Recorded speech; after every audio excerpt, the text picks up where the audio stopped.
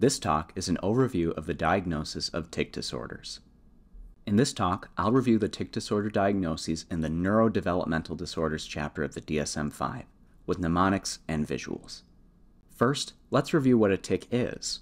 A tic is defined as a sudden, rapid, recurrent, non-rhythmic motor movement or vocalization.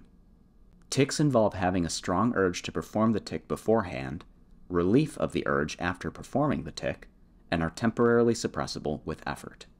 Tics have a waxing and waning course, which means that they may become more or less severe over time, and they may evolve over time, which means that new tics may develop, or existing tics may increase in severity or complexity. Tics are worsened by stress, fatigue, boredom, excitement, or when attention is paid to them, and they are improved or reduced by relaxation, rest, exercise, mindfulness practices, and concentration. Here are some examples of both motor and vocal tics, separated by complexity. Examples of simple motor tics include blinks, grimaces, shrugs, or head jerks, while complex motor tics include kicking, jumping, gyrating, or scratching. Examples of simple vocal tics include grunts, moans, sniffs, or throat clearing, while complex vocal tics include echolalia, which involves repeating words, and coprolalia, which involves cursing or using other obscene words. Next, let's review the criteria for the different tic disorders. Listed in order from most to least stringent criteria, the tic disorders are Tourette's disorder, persistent motor or vocal tic disorder, and provisional tic disorder. I've also included the other specified tic disorder designation, which I'll explain the reason for in a bit. These disorders are distinguished based on the number of motor and vocal tics present, the duration of symptoms, and the onset of symptoms. Starting with Tourette's disorder, this involves having at least two motor tics and at least one vocal tic. Duration must be at least one year, and onset must be less than 18 years old. Persistent motor tic disorder involves having at least one motor tic, but no vocal tics. It has the same duration and onset as Tourette's disorder. Similarly, persistent vocal tic disorder involves having at least one vocal tic, but no motor tics.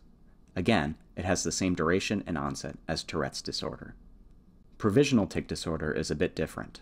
This diagnosis is used when the patient has at least one tic of either motor or vocal type, but the tics have not yet lasted for at least one year.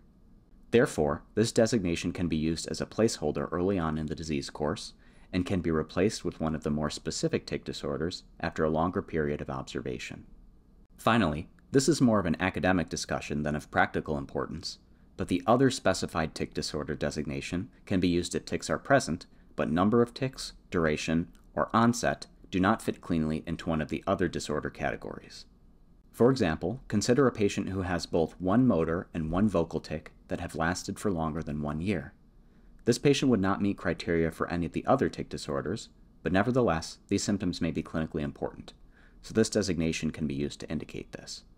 Another example would be a patient whose tics began when they were older than 18 years old. Let me conclude by pointing out a couple details that may help you memorize these criteria. First, I think that the most useful criteria to remember these differences are in Tourette's disorder, remembering that two motor tics and one vocal tic are required, and that provisional tic disorder is distinguished by having tics for less than one year. Another tool to remember the Tourette's disorder criteria is visualizing the T in Tourette's, where the two dots at the top of the T represent the two motor tics, and the dot at the bottom of the T represents the one vocal tic. That's the end of this talk. I hope this simplification makes it easy to remember the tic disorders. Thank you.